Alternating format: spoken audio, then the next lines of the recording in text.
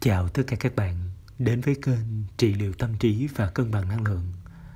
Quốc Anh cầu chúc mọi phước lành đến với tất cả chúng ta. Khi nhân loại trải qua một đợt bùng phát dịch lớn, chúng ta có thể tìm cách để vượt lên trên bất kỳ sự không chắc chắn, sợ hãi của nó. Với nguồn năng lượng vô hạn mà chúng ta có, chúng ta có thể tìm cách để làm tốt hơn, trở thành người chữa lành người xoa dịu và người hướng dẫn trong việc lãnh đạo bản thân. Tất cả bắt đầu bằng việc sử dụng năng lượng của chính chúng ta. Khi chúng ta trở nên tốt hơn trong việc duy trì năng lượng của mình, chúng ta có thể làm nhiều hơn để giúp đỡ bản thân và những người khác. Giữa những rắc rối, con người đang tìm mọi cách để tồn tại. Một số người đang dừng lại và nhìn lại con đường của mình và đặt ra câu hỏi, mình là ai và mình đang ở đâu? Những người khác đang chuyển hướng sang một cách khác trong cách họ cung cấp dịch vụ của họ hoặc cung cấp dịch vụ mới trong một thế giới đang thay đổi. Trong bất kỳ trường hợp nào, nhân loại đã phát triển qua vô số cuộc khủng hoảng. Chúng ta đã thể hiện khả năng phục hồi tuyệt vời trong việc mở khóa các giải pháp và duy trì sức chịu đựng khi đối mặt với nghịch cảnh, cả nhân tạo và tự nhiên. Trong khi các anh hùng là các chuyên gia y tế trong đại dịch, có nhiều người khác duy trì các yếu tố cần thiết cho sự sống còn. Chẳng hạn như những người trong ngành công nghiệp thực phẩm, thực thi pháp luật và dịch vụ công cộng. Quốc anh hy vọng bạn vẫn khỏe mạnh về thể chất và tinh thần điều quan trọng là phải chăm sóc cơ thể của chúng ta và giúp những người khác cũng làm như vậy. Tuân theo các hướng dẫn như giãn cách xã hội, rửa tay là quan trọng để giúp ngăn ngừa bệnh truyền nhiễm. Bằng cách này, tất cả chúng ta có thể tiếp tục với các cơ hội của mình. Cơ thể con người là một mỏ neo cho linh hồn và cho phép chúng ta ở lại ngôi trường trần gian này trong những thời điểm khó khăn như thế này, bạn cũng cần lưu ý rằng chúng ta nhạy cảm với nhau như thế nào. Chúng ta là năng lượng và chúng ta lấy năng lượng của người khác và môi trường. Dễ dàng cảm nhận được nỗi sợ hãi và cảm xúc của người khác. Nhưng chúng ta không thể giúp đỡ bản thân hoặc những người khác khi chúng ta quá cuốn vào các vấn đề. Chúng ta có thể nhận thông tin từ tin tức nhưng việc lắng nghe liên tục không giúp ích gì cho chúng ta hoặc những người xung quanh. Chúng ta vẫn là con người thật của chúng ta. Đó là bản thể tốt bụng, đầy yêu thương. Chúng ta có thể thoải mái và bình tĩnh giữa cơn bão. Chúng ta luôn kết nối với những nguồn tốt nhất của mình. Đó là sự hướng dẫn bên trong và trí tuệ thực sự của chúng ta.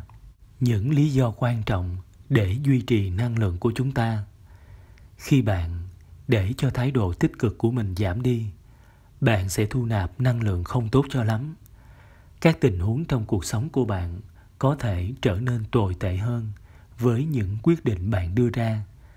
Bạn cũng có thể có xu hướng thu hút nhiều sự nhầm lẫn và thậm chí là bệnh tật. Khả năng miễn dịch suy yếu và bạn dễ bị ốm hơn. Làm thế nào để chúng ta giữ được năng lượng trong những lúc như vậy. Các chìa khóa sau đây, cung cấp giải pháp cho bạn. Chúng có thể được thực hiện như một kỹ thuật, đặc biệt là khi chúng ta làm việc chặt chẽ với sự hướng dẫn bên trong của chúng ta.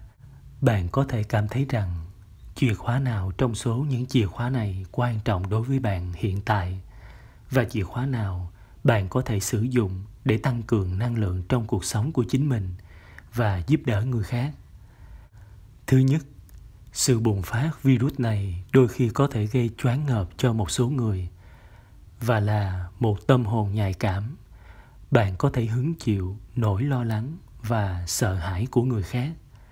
Sự hiểu biết này có thể giúp đưa ra những suy nghĩ và cảm xúc của bạn vào một viễn cảnh rõ ràng hơn.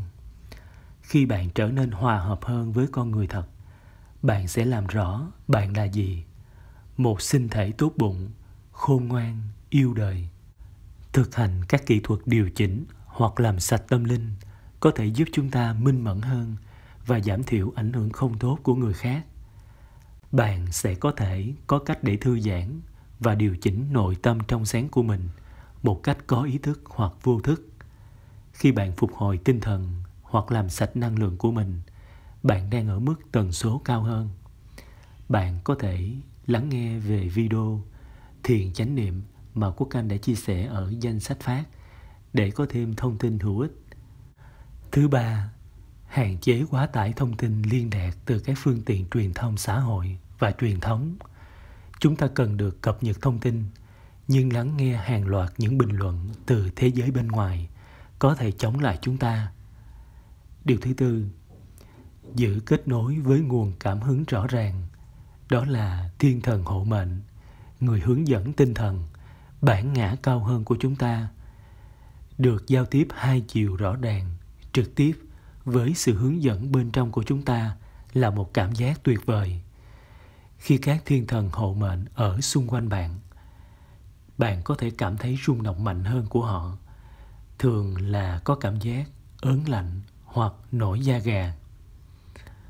Thứ năm, giữ năng lượng cá nhân của chúng ta trong sạch và rõ ràng, có nghĩa là chúng ta có cảm nhận về con người thật từ cấp độ sâu hơn. Bạn càng hiểu rõ hoạt động bên trong phong cách giao tiếp và tính độc đáo của chính mình bạn càng dễ dàng duy trì một năng lượng cao hơn. Bạn có câu trả lời của riêng mình khi bạn cần chúng. Điều thứ sáu khi chúng ta mở rộng bản thân và người khác chúng ta đạt được bước chân đến sự rung động cao hơn. Một bàn tay giúp đỡ, lời nhận xét nhẹ nhàng hoặc giọng nói nhẹ nhàng có thể giúp ích rất nhiều cho người khác. Chúng ta cũng có thể phát triển thông qua dịch vụ của chúng ta mà chúng ta cung cấp cho người khác. Thứ bảy, giải tán mọi suy nghĩ bị mắc kẹt hoặc hạn chế. Ngay cả khi một người đã có những suy nghĩ như vậy trong nhiều năm những khái niệm này không phải là một phần của con người bên trong của họ hay con người thật của họ bạn là một linh hồn hoặc năng lượng không giới hạn. Điều thứ 8. Tận dụng tối đa mọi tình huống. Bạn có thể khai thác nội lực của mình và sử dụng sáng kiến của mình để tận dụng hoàn cảnh của mình. Bạn càng làm điều này, các thiên thần hộ mệnh của bạn càng giúp đỡ bạn. Nếu bạn đang giao tiếp có ý thức với sự hướng dẫn bên trong hoặc các thiên thần hộ mệnh của mình, bạn có thể thấy mình có thể đi sâu hơn vào việc sống theo mục đích duy nhất của mình. Và thái độ tinh thần là điều chúng ta cần nhất trong thời gian thử thách này.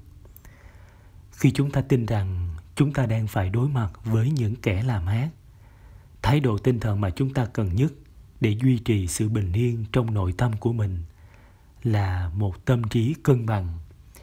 Đặc biệt là khi chúng ta đang có nhiều đánh giá về ai đó hoặc điều gì đó, ai đúng, ai sai, ai tốt, ai xấu, nếu không cẩn thận, chúng ta có thể rơi vào thái độ phân cực.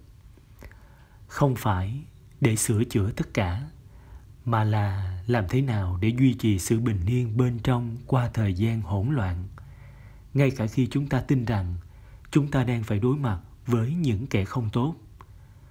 Thái độ tâm linh sẽ hỗ trợ bạn trong việc duy trì sự thanh thản bên trong, ngay cả trong những tình huống khó khăn nhất. Đặc biệt, thái độ này được áp dụng khi bạn giao dịch với những người không có đạo đức. Chúng ta biết rằng những người mà chúng ta coi là xấu xa, cho dù họ có thực sự là như vậy hay không, họ dễ dàng kích động chúng ta họ có thể kích động sự tức giận, sợ hãi, phẫn uất và bất kỳ cảm xúc và phản ứng nào khác làm phiền tâm trí chúng ta. Cân bằng tâm trí là cách thoát khỏi tất cả những phản ứng đó. Với thái độ này, chúng ta được nhắc nhở ở trung tâm của chúng ta, không nên vội phán xét hay hành động mà hãy quan sát và cân nhắc chuyện gì đang xảy ra ở đây có những cách khác để xem xét tình huống này không? Cách hành động tốt nhất để đáp lại là gì? Bằng cách duy trì thái độ tích cực, chúng ta sẽ bình tĩnh và đềm đạm. Điều này cho phép chúng ta đưa ra quyết định tốt hơn khi phải đối mặt với tình huống khó xử nghiêm trọng. Chúng ta biểu thị một thái độ tinh tế và tích cực hơn. Cụ thể là một sự chứng kiến bất bình nhưng vẫn đồng cảm với những sự kiện trần tục. Đây là sự bình đẳng.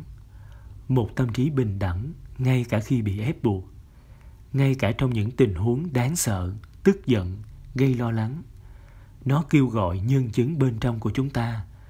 Phần của bản thân chúng ta có thể đáp ứng lại và quan sát cả điều sai trái mà chúng ta cho là đã làm. Những người xấu mà chúng ta tin rằng đang làm điều đó và tất cả những cảm xúc phản ứng của chính chúng ta từ một khoảng cách nhỏ. Chúng ta có thể có một quan điểm rõ ràng hơn. Chúng ta lùi lại và xem xét bối cảnh lớn hơn.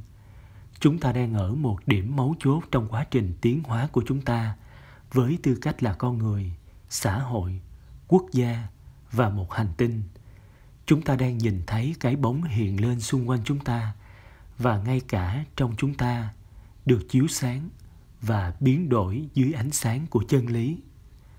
Điều quan trọng là phải thực hành cân bằng tâm trí khi chúng ta chứng kiến những sự kiện lịch sử này trên hành tinh của chúng ta để phân biệt hành động của chúng ta. Hành động đúng đắn nào trong tôi nảy sinh từ nhân chứng bên trong của tôi để đáp lại những gì tôi đang thấy. Hành động đúng đắn nào xuất hiện từ thiên nhiên và chính thiên tính của tôi phản ứng nào muốn xuất phát từ bên trong tôi để khuyến khích hàn gắn uống nắng hợp tác và hòa hợp? Hơn là có xu hướng, tất cả chúng ta phản ứng, chỉ tay, đổ lỗi và lao vào xung đột không hồi kết. Đây là lúc để chúng ta thực hành cân bằng tâm trí với chính bản thân mình. Vì chúng ta biết rằng mọi hành động đều có phản ứng bình đẳng nếu chúng ta khắc khe trong việc đánh giá người khác, thì chắc chắn chúng ta sẽ khắc nghiệt với chính mình khi đánh giá rằng chúng ta cũng đã làm điều gì đó kém lý tưởng. Có bao nhiêu người trong chúng ta ôm nỗi xấu hổ và tự trách về những sai lầm của mình? Chúng ta nhìn vào gương với sự đồng tâm và đồng cảm, biết rằng chúng ta cũng đã sai lầm bằng cách duy trì sự bình tĩnh với bản thân chúng ta hiểu rằng chúng ta là con người, có thể được tha thứ, hoặc có lẽ ngay từ đầu chúng ta đã không bao giờ xấu, và thực hiện các hành động tự chăm sóc bản thân để ngăn chặn những sai sót và tự phán xét. Cho dù nhìn ra các sự kiện của thế giới trong các mối quan hệ của chúng ta với người khác hay với bản thân của chúng ta, bất cứ khi nào chúng ta tin rằng chúng ta đang đối xử với một người mà chúng ta đánh giá là tồi tệ.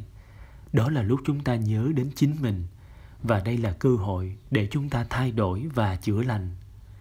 Tạm dừng và lùi lại một bước, làm chứng với sự bình tĩnh.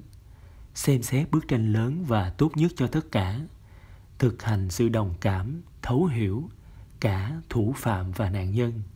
Sau đó, chọn phản ứng từ bên trong cảm thấy phù hợp với bản ngã cao hơn và sau đây là một giải pháp để điều chỉnh và tập hợp lại từ góc nhìn rộng hơn của bạn với tư cách là một linh hồn trên hành tinh trái đất. Sau khi mở ra kết nối nội tâm của mình, bạn trở nên rõ ràng hơn về sự thật trong nhiều lĩnh vực của cuộc sống, bắt đầu từ bản chất tâm hồn của bạn.